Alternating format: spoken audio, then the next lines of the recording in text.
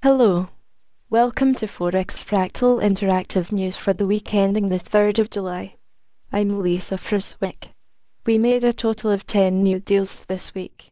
We took profit on 6 and closed in profit. The overall profit on the week was 1.2% of NAV. We took one stop loss and three positions remain open. Follow us real time on Twitter. Look for Forex Fractal. Join me next time.